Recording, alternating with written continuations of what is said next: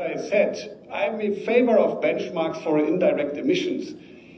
And as far as I have understood, please correct me if I'm wrong, there is a paper on the table by the Commission saying that we want to compensate also for the 10% best performers. That is, of course, you represent 100% of the industry, that's true. But I cannot accept that somebody who is 50% over the best performer, over the benchmark, says, please protect me because the rest of the world is not performing good. You know, when you are emitting twice as much as a benchmark, or sometimes three times as much as a benchmark, you will find companies in China that are doing better. So the carbon leakage argument is only valid when you are really the best performer. And that's why I defend this benchmark.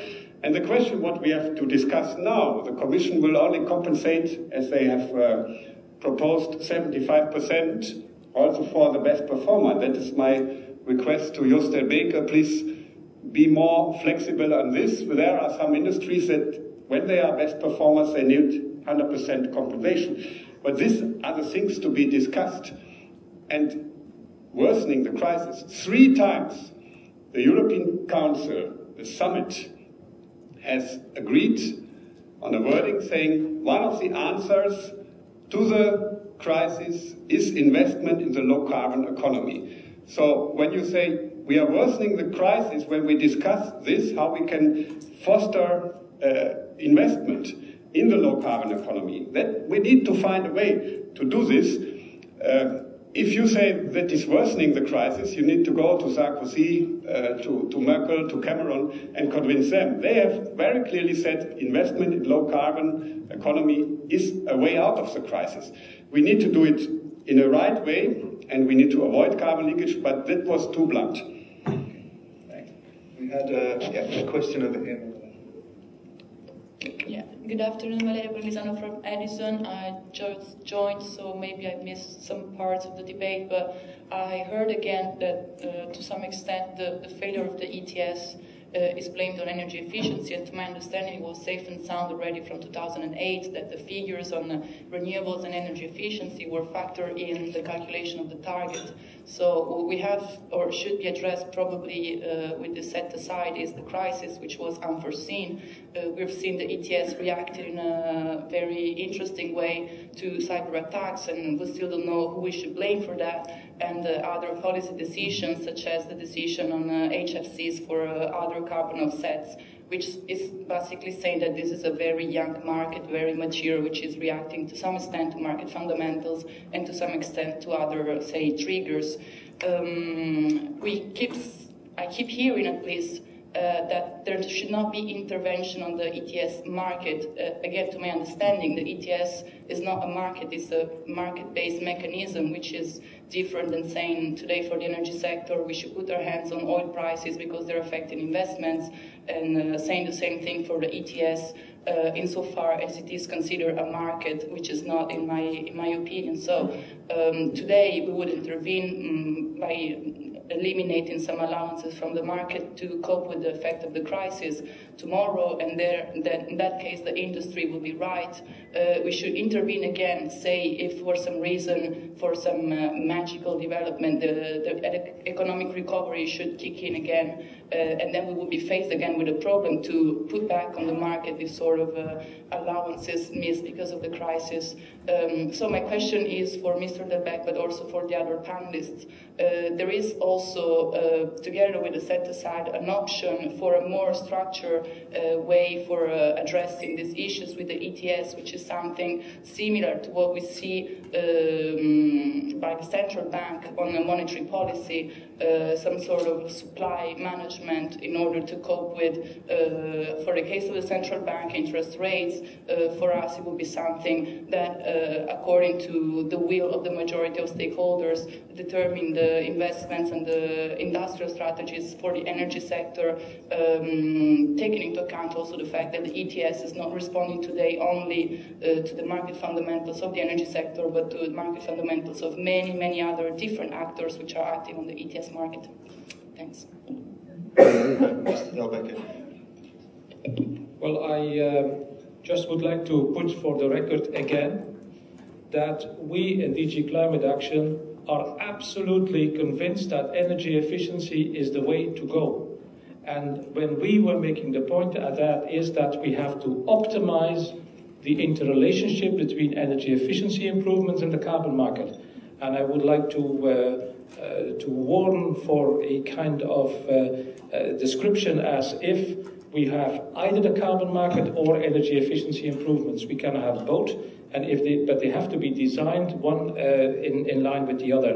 Uh, the other point is that at the time when we were making the, uh, uh the, the, impact assessment on the uh, EU ETS, uh, that means 2008, 2009, the energy efficiency target of 20% was not incorporated into the impact assessment done at that point in time. That came later because it was not a goal comparable to the renewable energy goal or the 20% uh, uh, greenhouse gas emissions objectives. That's why uh, that came later into, uh, into the equation when we made the proposal for moving to the energy efficiency directive. Um, on your question on whether we should have an analogy with the monetary policy and have a kind of carbon bank, um, the, the Commission is not convinced that we have to go uh, this way uh, because that is going to make a bet on how the authorities are going to behave. And if uh, instead of going on the market, we are going to have a lobby machinery on the Commission or the Carbon Bank making its next move to have a price up or down uh, we will have speculation that is policy or politically driven instead of having a market operating and incentivizing to the clean technology uh, that uh, we need to have. So that's why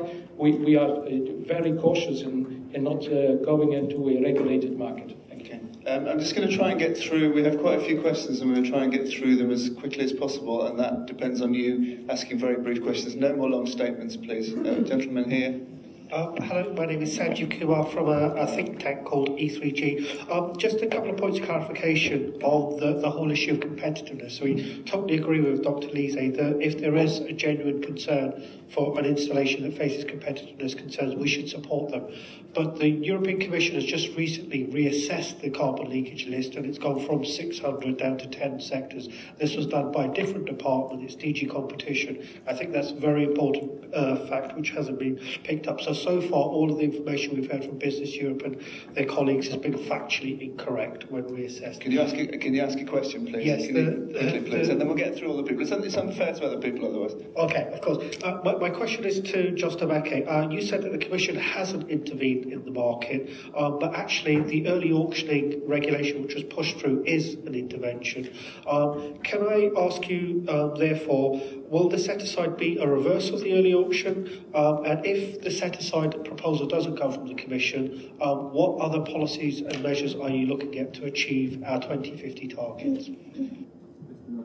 Quickly, if you, if you yeah. Well, the, the, set aside, as I explained, will have to come on the basis of a proposal from the Commission, whatever it is the co-decision route or it is the comitology route. Can I, I, I do not see how the set aside otherwise can be dealt with. And I think that that's also the orderly way to do it and the transparent way uh, to do it. Uh, you, you ask about the auctioning regulation and, and the fact that that was uh, a deliberate move from the Commission to organize the market. Of course, it's by definition. The Commission has to spell out what the timing and uh, pattern and the modalities are going to be uh, according to which the auctioning is going to take place. And so we did. And if there is a wish for a change, there will be a wish for a change through a co-decision proposal, and that then is going to be followed through the normal procedures. So I, I would like to take away the impression that all too many people have as if the Commission is going to just overnight uh, organize a set aside in the dark uh, without any scrutiny from anybody. That's not the way Europe works. You know that. We all know that. We have a co-decision process. And if we would come to that point, it's going to be in the open and not in the dark. So I would like to reassure everybody about that. In order to get through the questions, let's just group them. We had two here, one here, one here, and one there. So I'll take those five. Um, keep your questions as short as possible, and we'll, that, that way we should be. So, uh, lady with uh, dark hair, please. Thank you. Jessie Scott from Eurelectrics. It's, uh, my president and vice president said some strong things today and have been cited. Um, I think I should be clear we don't yet have a position at Eurelectric, despite these powerful statements. Um, I wanted first to thank Jos for being very clear on three things. First, that there is an issue of coherence between the ETS and the energy efficiency targets. Secondly, that there is debate is about the problem of supply in the ETS market. And third, that any correction in the form of a set aside would concern auctioning allowances, not the free allocation. Given that, a question for both the rapporteur and Jos. Do you have a view on what's the optimal time frame for some decisions, some clarity about this? Um, the debate within Eurelectric certainly has a lot of concern about investor uncertainty, and the term interference, some of these debates perhaps are increasing uncertainty. Do you think we have a year to talk about this? A number of months? Okay, okay. Years? I think the question's clear. So the gentleman next to you, yeah, Simon, who, Simon, who I hope is not, but. Uh, Simon Blakey from Eurogas. So we have a, a neat, uh, a neat parallel there. I would like to come back quickly to the question of price management to Jos Delbeke. Um, I think I heard you say that you're not in the business of price management. Uh, Valeria Palmisano raised an analogy with the oil market. When OPEC interferes with the supply side on the oil market, the consequence is management of the price. If the Commission interferes with the supply side of the ETS market, surely the consequence is the management of the price. Would you care to comment? The gentleman at the back there.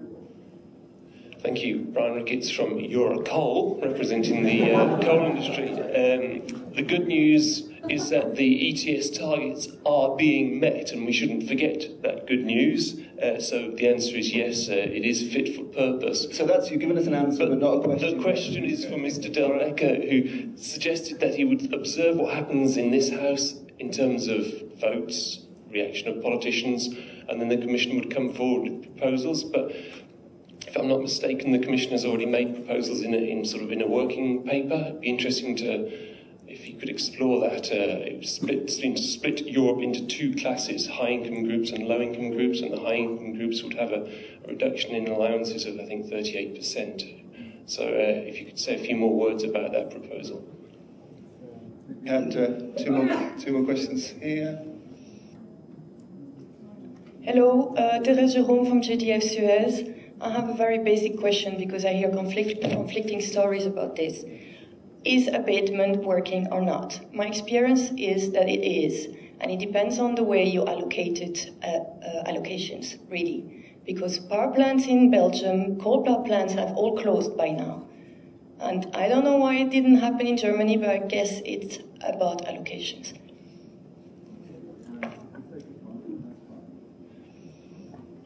Hi, I'm Sandra from Alstom, which is a energy technology company.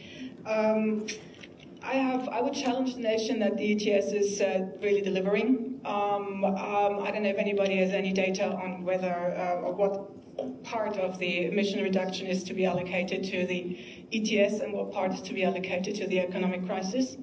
Um, I also would challenge the notion that uh, the closing down of factories is only um, due to the ETS.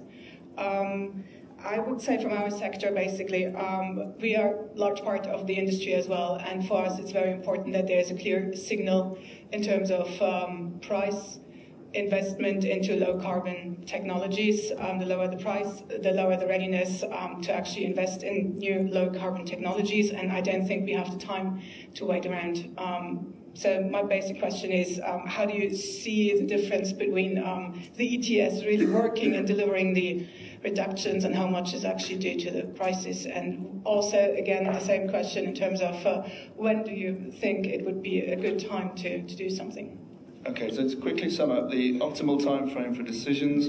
Is the uh, Commission already guilty of practicing price management? Does the Commission want to divide Europe into high and low income groups? Uh, is abatement working? And uh, is abatement working or is it the economic crisis? And, uh, and also the, the time frame for decisions. Uh, I think most of those were aimed at Mr. Delbeke, but uh, if the rapporteur... Okay, well, I can be relatively uh, quick on timing. Uh, well, as I said, we are monitoring what is happening in this House. This House basically holds the key to the timetable. Um, I, I, would assume if something needs to be done, it will have to be this year, next year. I, I would hope that the economic recession is going to be uh, behind us as soon as, uh, as possible, but uh, uh I cannot give more precise indications on that. On whether the uh, Commission is already managing uh, the markets, I, I, hope I dispel that clearly. It's not the Commission, it's the co-legislator who is setting the, the targets. And that is also going to be the case in the future. So I, I, I, certainly would refute that the Commission is doing that. And uh, it, it's, of course, a deliberate policy decision what the amount of allowances is that are being put on, into the market. That's the target we are all agreeing. On high and low income uh, countries, well, I would like to remind uh, people that inside the climate and energy package there are significant redistribution mechanisms. Uh, poorer countries uh, in Europe receive much more uh, uh, auctioning allowances compared to rich income countries.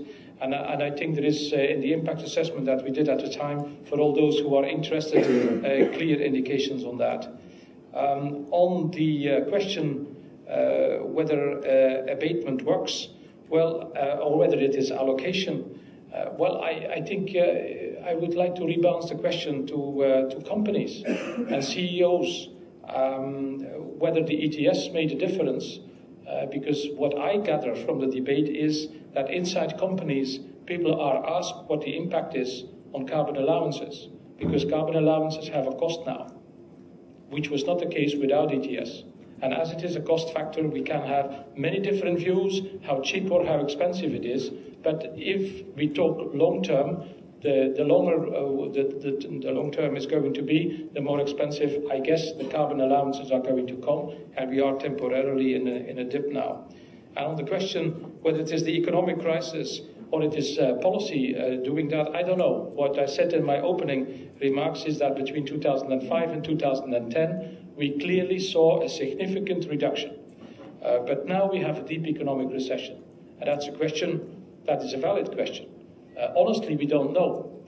Uh, and, and, and, we are encouraging academic institutes, including the Energy Institute of the Florence uh, University, to look into that because it's a valid question. Um, but it's a question I cannot uh, reply to uh, just just right now. Thanks very much. Mr. Liese, I'll, I'll, let, I'll, let, all the panelists make some quick remarks and then Mr. Hub. Yeah, first of all, I have been called rapporteur several times. I was never the rapporteur on the big ETS. I was always only the rapporteur on the inclusion of aviation. And only one sentence on this. The noise that has been created about a problem is not always corresponding to the, to the burden for the industry. Uh, the, C, uh, the, C, the chief of the European Association of Airlines told me last week that Ryanair one important airline, have calculated the cost per ticket of the ETS. It's 25 cents. I repeat it, 25 cents for a big European airline. And uh, the figure for a long haul flight from Europe to China is 1 euro 90. At the same time, airlines are paying without such a noise 170 pounds sterling when they fly from London to Shanghai or to another uh, long distance flight. Have you ever heard any debate about distortion of competition because of the British uh, national tax? Uh, I think there is a problem that when Europe does something, people think that it's easy to attack. It's always um, good to attack Europe, you become popular. But the burden of national measures is quite more important and also for the industry. Let's work on a European solution and then abolish all the national taxes and fees and national measures that are teasing the industry. On the two questions, the time framework. ENVI committee, with this big compromise supported by almost all groups, only the, uh, the UKIP group didn't support it, but ECR, for example, did. We said that we want the set aside to happen after the adoption of the Energy Efficiency Directive. It's clear that we have more clarity what is the impact, but before the next period. So there is the time frame, hopefully we adopt the Energy Efficiency Directive in June under Danish presidency, and then it's time to, to do the appropriate decision. Maybe we need more time, but please, industry, then don't come that we shouldn't intervene during the period. If you want uh, security, help us to find a solution this year. Otherwise, we will face other problems, but I definitely would not then give credit to the arguments that say now it's too late. So uh, you can tell me now, uh, we support you in 2013, but then I want to have it in writing and not only some uh, promises. And the, the last question, uh, uh, the representative of Euracoal said, we are delivering the target. I want to repeat again, and maybe this needs to be discussed further. We won't meet our 2020 target when we don't do something with the ETS, because the ETS is designed for a period, and we had the assumption that step by step emissions will go down. But when we have this over allocation and start the over allocation in the next period, uh, and we, we transfer it to the next period, we will have a problem even after 2020. So um, we will not meet our targets. And that's a problem for the international negotiations. Our credibility at the international negotiation is also at stake, and that's another reason for an intervention. It needs to be careful, but we cannot ignore this problem. Okay. Brian, a few brief remarks, and the same for you, Robert. Don't, don't try and answer all the questions, please.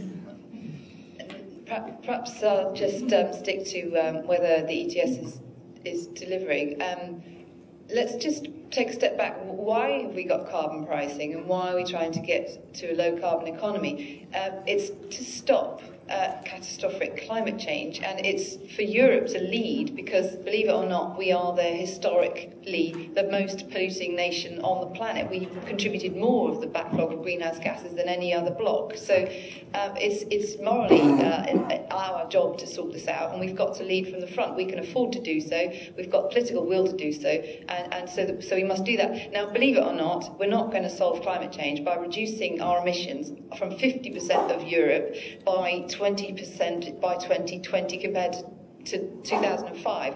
That is not the end game. That happens to be a milestone in this policy. This policy is here for the long term. It doesn't end in 2020, it carries on, and its job is to deliver a low carbon economy in Europe. And as Peter's pointed out, the way it's constructed at the moment, with all of the, the hot air in the system, we are in very great danger of allowing emissions to continue to rise actually to 2020, not to deliver a reduction. So uh, let's not, you know, sit on, on our laurels and say, oh, it's doing what we thought it would do. What it has to do is a job over 20, 30, 40, 50 years, and that's to get to zero emissions. And uh, it's not fit for purpose at the moment. It can be made fit for purpose.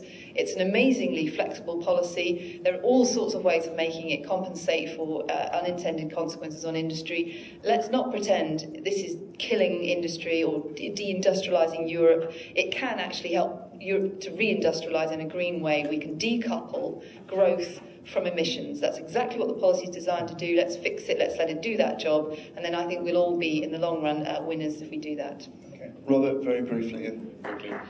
The, um, it is already said that the, this crisis now, if, if a 5 euro, 10 euro cost is a problem, a 20 euro cost is even more a problem. It's not so difficult.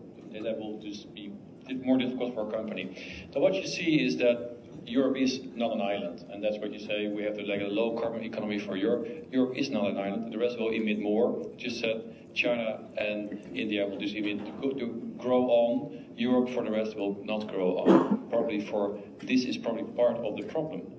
People start people having to take that into account. Alstom is a very good example of that actually.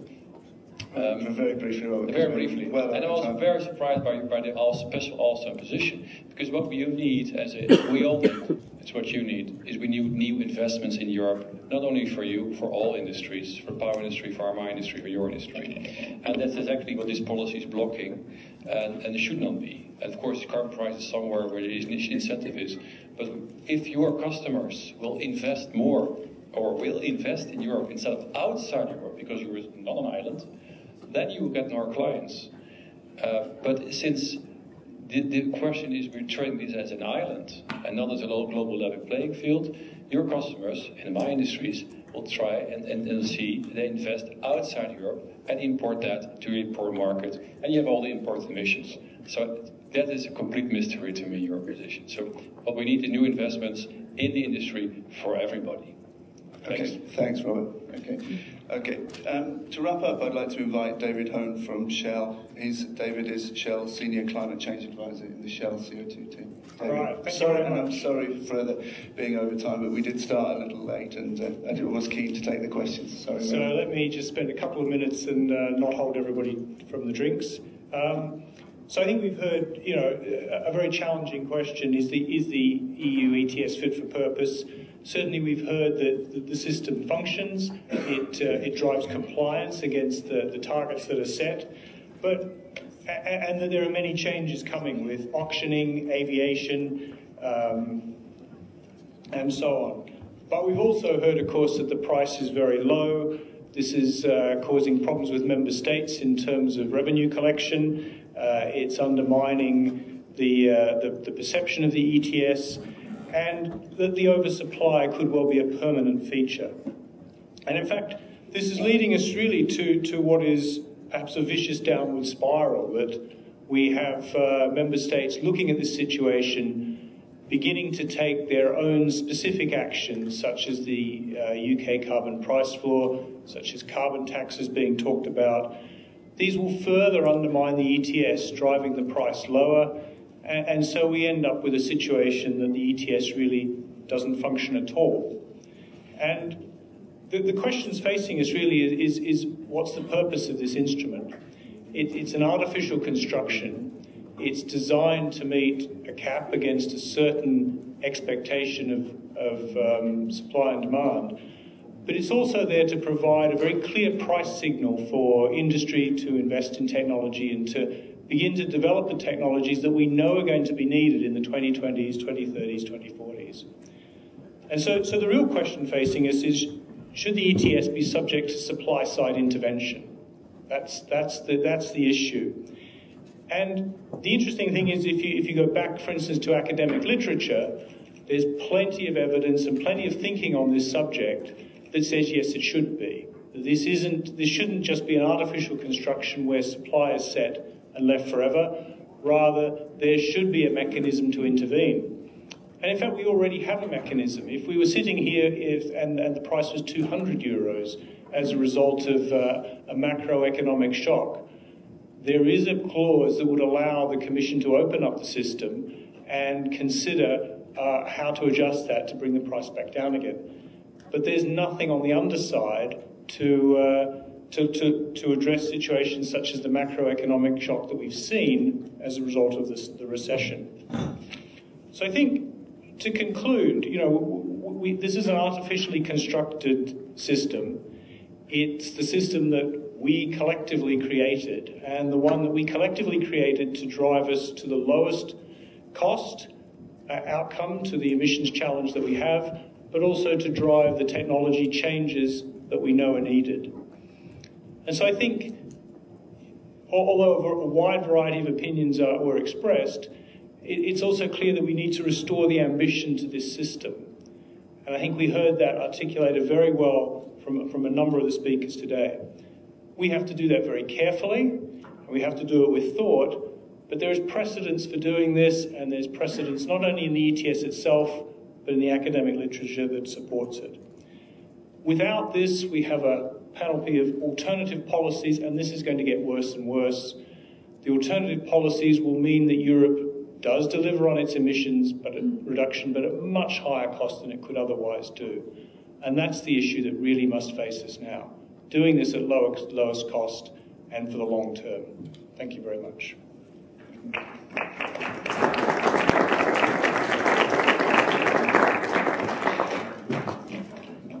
David gets to do the hard part, and I get to do the pleasant part, which is to thank all of our panelists today for their contributions, to thank you for all, for coming and uh, filling this very large room. We were we were slightly nervous when we heard what room was available, but uh, uh, it's uh, it's a very good turnout. It's very pleasing. I'd like to invite you to uh, a, a, a small reception uh, outside. I hope you can join us for that. And uh, just to point out to you that there are feedback forms on this event. If you would take a few minutes just to fill them out, it's very helpful for us uh, to get your feedback uh, uh, back and to feed that into planning for future events. And I would also invite you to go onto the website where you can uh, take part, uh, make your own comments on the debate. Thank you very much to everybody, and thanks.